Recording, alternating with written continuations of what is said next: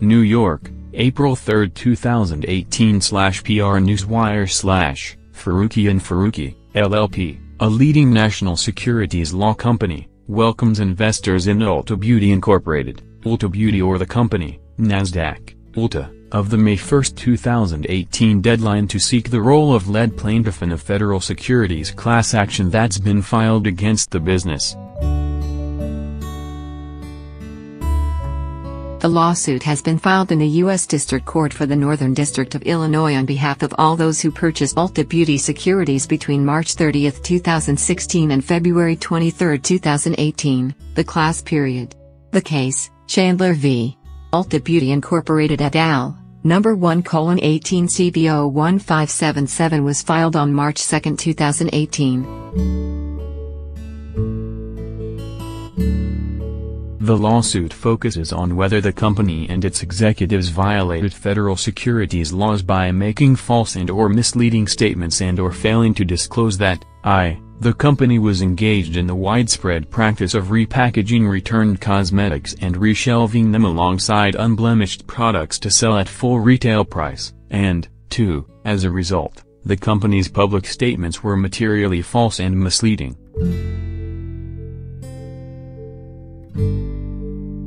Specifically, on February 9, 2018, media outlets reported that a consumer class action lawsuit had been filed against Ulta Beauty, alleging that the company engaged in the widespread and surreptitious practice of repacking returned cosmetics and reshelving them alongside unblemished products to sell at full price.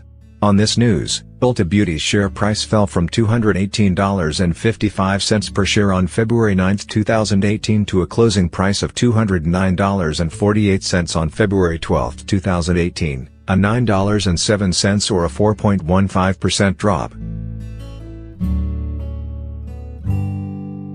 Then, on February 23, 2018, CBS News published a story reporting on statements initially made on Twitter by at least one former Ulta Beauty employee, to the effect that Ulta Beauty store managers frequently pressured the its employees to clean and resell used products.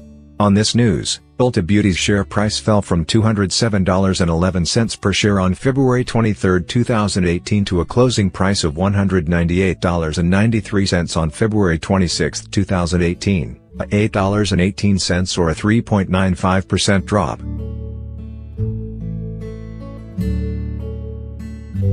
The court-appointed lead plaintiff is the investor with the largest financial interest in the relief sought by the class who is adequate and typical of class members who directs and oversees the litigation on behalf of the putative class.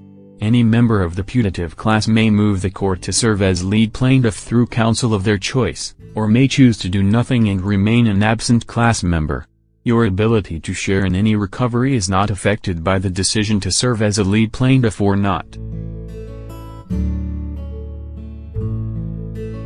Faruqi and Faruqi, LLP also encourages anyone with information regarding Ulta Beauty's conduct to contact the firm, including whistleblowers, former employees, shareholders and others. Attorney Advertising. The law firm responsible for this advertisement is Faruqi and Faruqi, LLP. Prior results do not guarantee or predict a similar outcome with respect to any future matter.